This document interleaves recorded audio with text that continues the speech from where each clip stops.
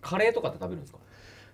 カレーはなんか今あの、まあ今減量中だから。うん、でもスポンサーしてくれてるそのミートフィットネスっていうところがあってそこはなんかフィットネスカレーっていうのを提供してくださってて、めちゃくちゃ美味しいです。なんかあのダイエット食品のカテゴリー外でも美味しいと思います、うんうんまあなんか宣伝してるわけじゃないんですけど宣伝になっちゃってると思うんですけど、まあそマクロも良くてちょっとちょっとこう香ばしいカレー、うんうんうん。すごい。あれミミートフィットネスハンハンバーグとか。そうですハンバーグとかも。そうそうそうそう。カレーも販売してて、うん。カレーもやってるんだ。そうそうですなんか。石石塚さん？だとはいはい。社長ね。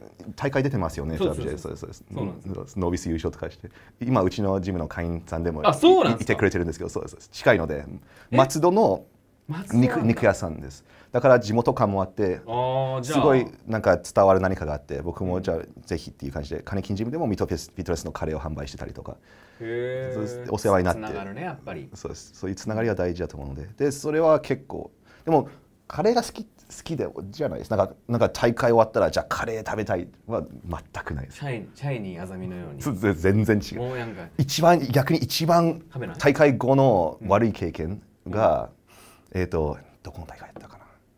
ジャパンプロ、まあ、どどっかの大会後 覚えてるでしょ？覚えてるでしょ？だから大会後っていうのは減量してる人は分かると思うんですけど味覚がすごい研ぎ澄まされてますよね。もう尖れていて、うんもうあのブロッコリーでもキャンディーになっちゃうぐらはいはい。い尖れてるので、で大会終わって、えー、と東京のどこだったんですけど店が10時ぐらいで店が何も開いてなくて、うん唯一ちょうど開いてたのがインドカレーのところで。えでもインドカレーってわあれあれじゃないですか。めちゃくちゃ強いじゃないですか、ーうん、スパイスも強いうんそうそうそうそう。しライまあナンがあってね。そうそこしかなくて。でその日は岩佐さんも一緒にうん。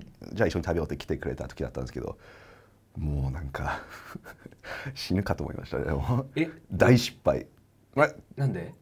味がもう圧倒されすぎ味に圧倒されすぎて頭ぶっ壊れると思って一口だけ食べてもう食えなかった？全然。もうまずかったとかっていうよりはもう頭がそれを受け入れたくなかった。へえ。でも絶対大会後はカレー食べないって決めた